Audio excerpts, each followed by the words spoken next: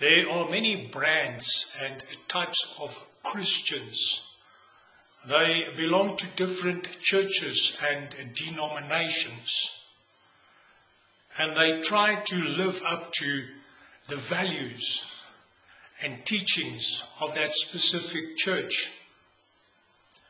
They are all false. They are fakes because they pretend to be what they are not. Jesus Christ alone is the way and the truth and the life. And we have to follow him. We have to be ourselves. We have to be what Jesus has changed us into being. We have to be born again children of God. And we must not pretend.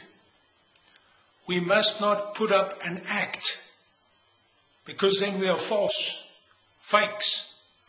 We must be real followers of Jesus Christ and then we will be like him. Do not be like the Christians because they are false.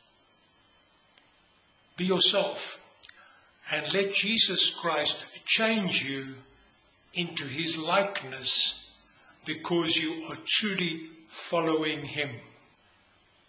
No false Christians will enter the kingdom of heaven. Only true followers of Jesus Christ who walk in righteousness and truth. Be like Jesus, not like the Christians. May Jesus bless you.